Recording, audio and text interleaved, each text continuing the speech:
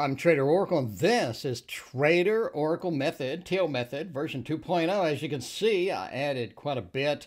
Let's go through it. Link in the description. You click it, and you go here. All you do have to do is add to your favorite indicators, reload TradingView, and it will be up and ready to go.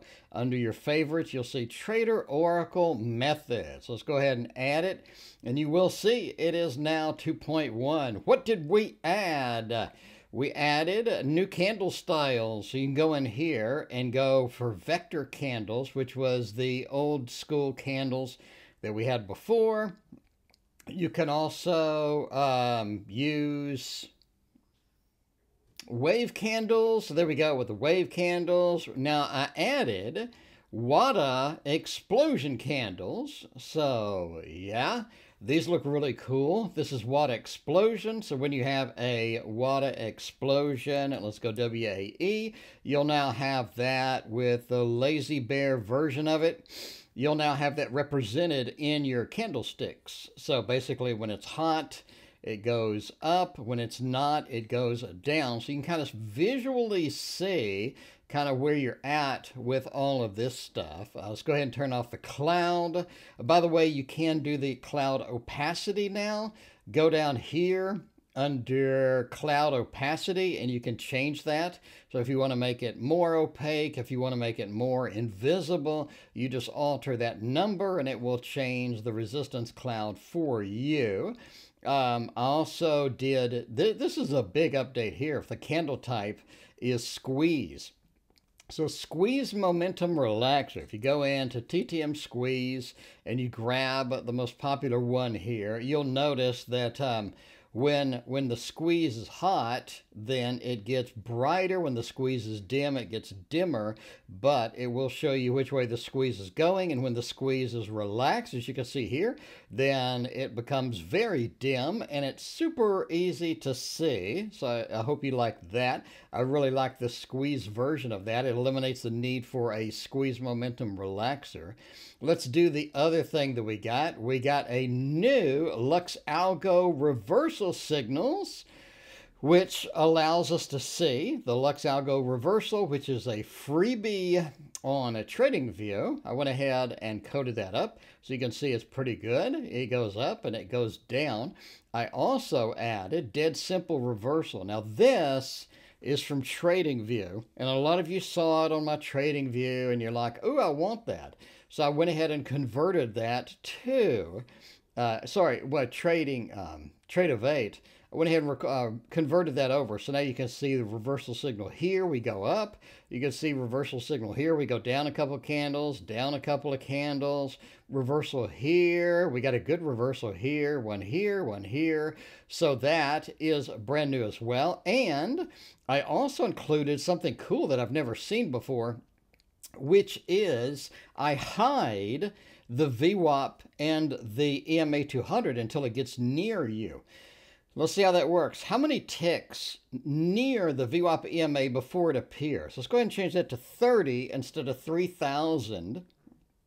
So I made that a little bit better. So now the VWAP and the EMA only appear when you get near it. So when you're coming down here and you're about to bounce off of it, now I bounce. Uh, now you can see it as you're bouncing, as you're about to bounce off of it. And then as you're coming off of it, it will appear. But if you're not near it, my theory is why bother having it on your screen? So during these times here, when we're nowhere near it, you can see it very, very lightly here. But yeah, I don't show it until you get next to it. So I thought that was a cool addition. Haven't seen anybody else do that, so I think that's my own invention, maybe. Uh, cloud opacity, we did that. Pivot point opacity, I changed that so you can make the pivot points not as annoying as they were before. So if you go to the pivot point here, you can barely see it.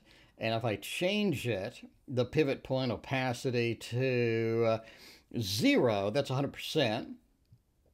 So now you can see it becomes 100%.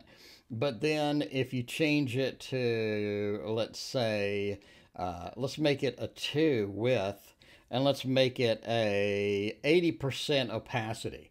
So that becomes very, very, uh, very, very light. We can change it to 50% opacity. And that's going to be a nice one right there. It's going to be a nice one indeed. All right. So there we go. So now you have your pivot points and you can adjust the opacity to them. Let's also show a new thing that I added, which was track bar gaps. In other words, this is a feature in Wave, in Tidal Wave, and it basically tracks any gaps between bars until they are filled. So if we go into replay and go here, for example, and we're going, uh, well, so you can see when we have a gap in a bar, a gap between bars, so this bar has a gap in between it, it will draw a dotted line indicating that we need to go fill those gaps, no pun intended. So when you go into replay, and we will go down and take care of those gaps as they kind of go down there. So you can see we filled both of these gaps. Now we had two more gaps bouncing off of the EMA and we filled those gaps. So you can see it kind of works as a fill value gap, fair value gap. Uh, it is a volume imbalance, as many people have pointed out to me, but that's another thing that I love about that. So yeah, so if you like the cloud and you don't want it to be as annoying, I can do the cloud opacity to 90, so it's nice and uh, let's see, let's turn on what I usually have here. I got squeeze, vodka shot, and early reversal. And there we go. It does take a while for anything to appear, kind of getting on the maximum side of the uh, displays, the plots that I can do.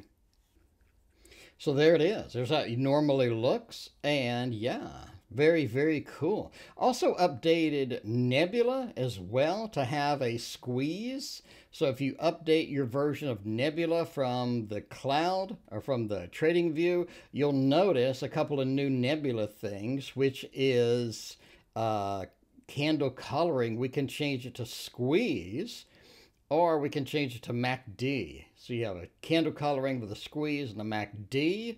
Um, so yeah, leave it to default for the Waddah. Also allow you to adjust the cloud opacity.